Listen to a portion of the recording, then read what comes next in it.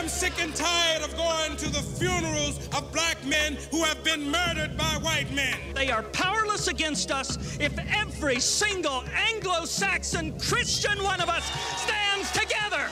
The rest of America don't see it that way, Mr. Mayor. The rest of America don't mean a damn thing. You in Mississippi now.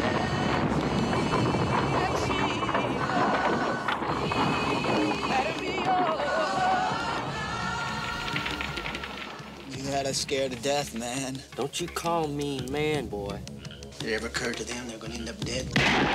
The moment those three kids disappeared, it was news. The moment the three civil rights workers disappeared, it was news. Somebody told Russian to stand up. Get out of here. You'd kill Frank? Is that what you're saying?